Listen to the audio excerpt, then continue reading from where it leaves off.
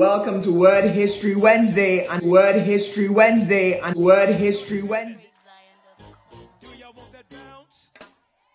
Well, that was a bit awkward. Anyway, today another exciting episode of talking about the history of the church and the things that have happened and where the church is going. So today, ladies and gentlemen, we're talking about drum roll, the Moravian Church. And I bet you're asking, so what is the Moravian Church? So the Moravian Church basically is one of the de- denominations of the Protestant Church, and they believe in the basic tenets of Christianity that Christ died, Christ rose, and Christ is our salvation. Have you heard of the Czech Republic? I thought so. So the Moravians originally were from Bohemia and Moravia, which actually is the Czech Republic of today. Great history lesson, right? So two Orthodox missionaries Cyril and Methodius traveled to Moravia and converted it to Christianity and translated the Bible. So the Moravian church are spiritual descendants of Jan Hus.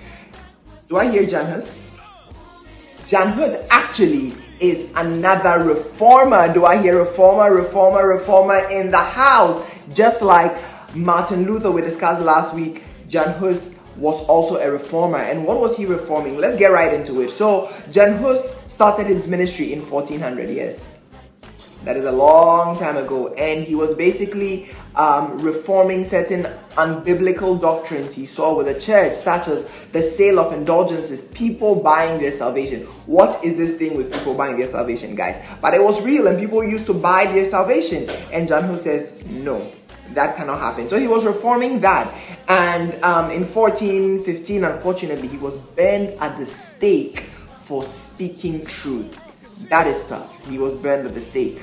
Um, but by 1457, the Moravian Church came together and they became the Unity of the Brethren, which later became the Moravian Church. And this church was super successful. They had their own printing press um, to translate the Bible to native languages for people, and they were really doing big things. However, at the point they were exiled and they were living with a count in Germany called Count Zinzendorf. This is where it gets exciting, guys. So in 1727, the church was praying together and they were communing together, and the Holy Spirit comes down and he sets in their heart a fire for missions. And you know what they do right after? They establish a 24 hour prayer chain, continuous unbroken prayer chain, 24 7.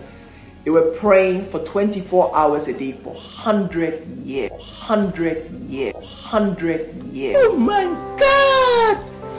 Wow! And this is what it did. It sparked in their hearts a fire for missions. So they went to South America, North America, the Caribbean, um, Africa, and the Far East. So the Holy Spirit set in their hearts a fire for missions. missions. And these were the first people to send lay ministers out into the world unordained people like you and I who are in school, who are work, who are doing our own shebang to the world. And they send their missions all over the world and actually, we have a mission right here in Pennsylvania. They came to Pennsylvania, they established towns like Bethlehem, like Nazareth. Isn't that something big? So, a few things we learned from the Moravian church and their history and their prayer life. Um, number one is that a Christian is a missionary regardless of your job. You could be a doctor, an engineer, a painter, a dancer. Once you're a Christian, Christ has called us to go to the ends of the earth. They also believe in the unity of Christ, putting aside our differences and um, advancing the cause of Christ. The third thing they believe is in the power of prayer. I mean, these people were praying for 24 hours, seven days a week for 100 years.